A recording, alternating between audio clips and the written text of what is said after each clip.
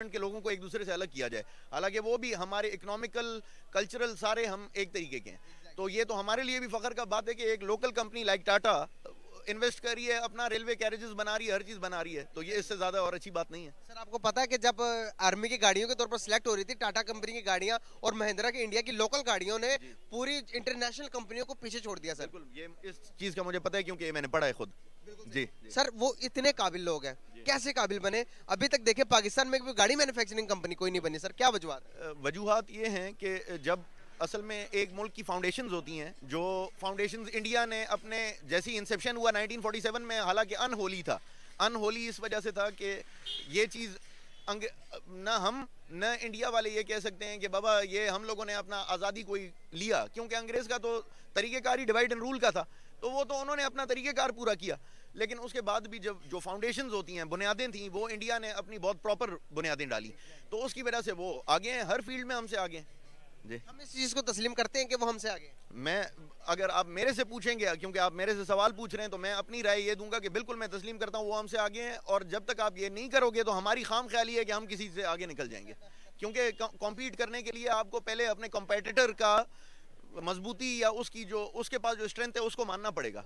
नापना पड़ेगा जांचना पड़ेगा। बिल्कुल बिल्कुल मैं तो ये हम, हमें यकीन करें कि हमारे मीडिया हमारे पॉलिटिशियंस और बहुत सारी किताबें हमें ये चीज़ें नहीं बताती कि इंडिया कितना डेवलप हो गया। असल में न बताने का न बताने का उनको फ़ायदा है क्योंकि वो लोगों को इसी चीज़ में आप अभी तक देखें कि पूरी दुनिया में आप देखें कि बॉर्डर्स कितने हो गए हैं। आप अगर यूरोपीय आजकल फेसबुक और हर चीज़ है, लोगों को जाने की ज़रूरत नहीं है कि वो जाकर देखें कि यूरोप में बॉर्डर्स कैसे हैं। आप देखें तो एक लकीर लगी हुई है तो वो बॉर्डर है।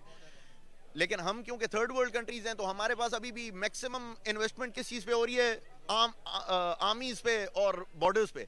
अब तो मीडिया के तवसत से इतना लोग जान चुके हैं और लोगों को पता चल गया कि बाबा आर्मी की कितनी इंटरफेरेंस होती है। जैसे कि पाकिस्तान में भी चले, इमरान खान के, मैं कोई प्रो इमरान खान नहीं हूँ, लेकिन उसके बावजूद भी उसकी वजह से लोगों को पता चला है कि बाबा क्या वो है।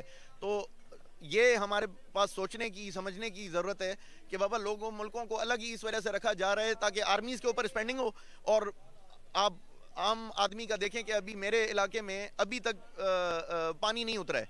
तो ज, इंडिया अपना ट्रेन मैन्युफैक्चर कर रहा है और हमारे लिए शर्म का बात है कि हमारे पास सैलाब आ रहा है और हम उस पानी को अभी तक नहीं निकाल सकते हैं।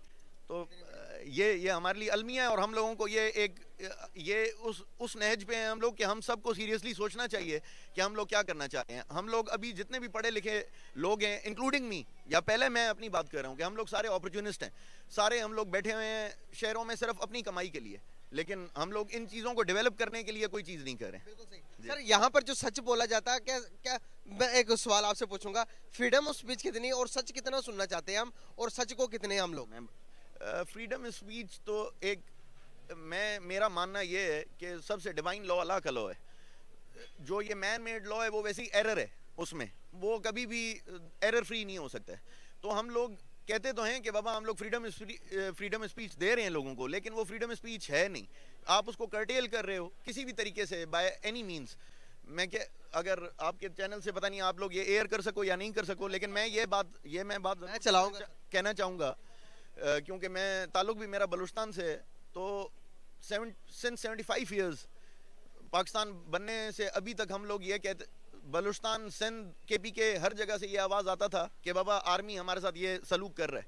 लेकिन हमारी बात को कोई नहीं मान रहा था। अभी आपके अपने पंजाब से बाबा, आपके अपने पंजाब से वो आवाज़ उठ रहा है कि बाबा आर्मी का इतना इंटरफेरेंस है। तो अभी भी किसी में इतना गट्स है कि कहे कि आपके पास के बलुस्तान वाले सही बोल रहे थे सेवेंटी फाइव ईयर से। नहीं बोल सकते हैं। तो आप इधर से अंदाज़ा लगाओ कि हमारे पास क्या फ्रीडम ऑफ़ स्पीच है और कितना कंट्रोल्ड फ्रीडम ऑफ़ स्पीच है।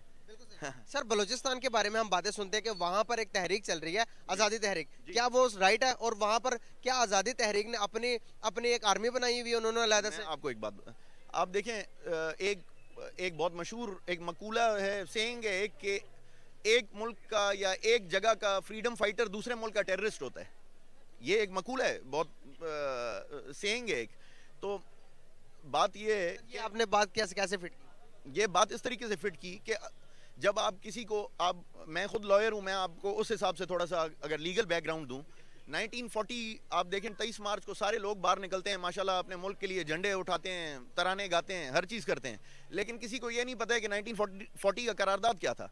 असल में तो 1940 का करारदाद was a promise to the federating units कि भाई आपका इक्वल रिप्रेजेंटेशन होगा। आपके मुल्क में इक्वल रिप्रेजेंटेशन है।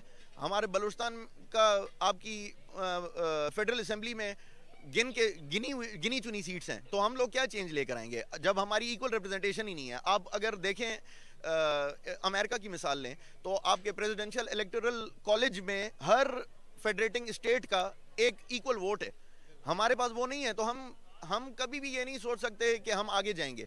तो हमारे साथ जो प्रॉमिस खुद किया हुआ आपके फाउंडर ऑफ़ पाकिस्तान ने अगर वही पूरा नहीं होगा तो हम लोग कैसे तरक्की करेंगे? आप कैसे कह सकते हो कि बलोच आगे आएगा? फिर उसके बाद दूसरी बात यह है कि जब जाहरी बात है आप किसी चीज़ को सप्रेस करोगे मेरी वालदा ईरान से हैं एक ईरान ईरानी एक सेंग है तंग अहमद बजंग अहमद आप अगर कह रहे हो कि वो लोग अपना आ, आर्मी उन्होंने रखा है। हालाँकि कोई ऐसा प्रूफ नहीं है। नवाब अकबर बुकटी के लिए सारों ने बोला कि बाबा, उन्होंने प्राइवेट जेल्स थे, फलाना थे। अभी तो गवर्नमेंट का उधर असर रसूख है। क्यों नहीं दिखाते लोगों को कि किस तरीके का था? तो तो इस तरीके की चीज़ें हैं। तो हमें हमें फिर भी एक, मैं एक लास्ट ये बात कहना चाहूँगा कि हमें ह्यूमैनिटी का बात करना चाहिए। हमारा नबी साई था। नबी साई ने आकर हमें क्या बताया कि बाबा, आप ह्यूमैनिटी के लिए बात करो। मैं खुद पर्सनली ये समझता हूँ कि बलोच, सिंधी, पंजाबी में आपको लोगों को डिफ्रेंशिएट बाइफोकेट नहीं करना चाहिए। क्यों? ताकि लोग इकट्ठा हों और उनका ताकत इकट्ठा हो जाए। Exactly, जी। और यही रीज़न है सॉरी मैं ये एक आखिरी नोट पे कहना चाहूँगा। और यही रीज़न है कि India is much powerful country than Pakistan इस वजह से कि उधर यूनिटी है। आप देखें कि उधर जितने सूबे हैं आप कभी कब, कभी आपने नहीं सुना होगा इंडिया में कि हैं पॉकेट्स जहाँ इंसान रहता है वहाँ लड़ाई भी है। जब हाबिल ने काबिल के साथ हुआ तो बहुत सारे लोग ये कहते हैं सॉरी मैं कट कर रहा हूँ आपको कि इंडिया के अंदर बहुत ज़्यादा जुल्म और सितम होता है मुसलमानों के साथ। और मुसलमानों से जब ये बात पता चलती है तो वो कहते हैं भाई हम बहुत खुश हैं। वो कहते हैं पाकिस्तान के मुसलमानों ज़्यादा सिंध के मुसलमानों ज़्यादा कश्मीर के मुसलमानों ज़्यादा हम ज़्यादा खुश हैं यहाँ पर इंडिया पर। इसको कैसे देखते हैं सर आप? मैं इस पे मैं ये कहना चाहूँगा कि हर किसी की अपनी इंडिया क्योंकि मैं उधर नहीं रहता हूँ तो मेरे साथ मुझे वो इफ़ेक्ट नहीं करते हैं हालात। या जिन हालात के थ्रू अगर तो वो सच हैं जो मीडिया पर रिपोर्ट किए जा रहे हैं। अगर तो वो सच हैं तो उस तरीके की चीज़ नहीं होनी चाहिए। कंडेम करना चाहिए, क्योंकि ह्यूमैनिटी को ऐसे इन ह्यूमेन एक्ट्स को कंडेम करना चाहिए। बेशक वो इंडिया में हो, बेशक पाकिस्तान में हो, बेशक दुनिया के किसी भी कोने में हो। लेकिन असल बात क्या है कि मतलब है कि जो क्रक्स है, वो ये है कि ऐसी चीज़ें खुद उजागर की जा रही हैं, क्योंकि हमारी स्टेट जैसे पाकिस्तान को बनाया गया तो हमारी सिर्फ़ अगर किसी रिलीजियस आइडियोलॉजी पे मुल्क बने तो या इसराइल बने या पाकिस्तान बने तो अब रिलीजियस हमारे पास शुरू से ही अंग्रेज़ों ने वो चीज़ रखी कि हमारे पास रिलीजियस एक्सट्रीमिज्म होगी। अभी भी लोगों के जज्बात को मजरू करने के लिए या उभारने के लिए आप देखें, या ब्लास्फेमी यूज़ की जाती है, जैसे कि सलमान तासीर को कत्ल कराया गया। या हमारे पास इस तरीके के वाक़ात बताए जाते हैं, जैसे कि रशिया को निकालने के लिए 1979 में तालिबान को बनाया गया। इसी तरह ही अभी हमारे पास ये बताया जाता है कि इंडिया में मुसलमानों को ये हो गया, वो हो गया।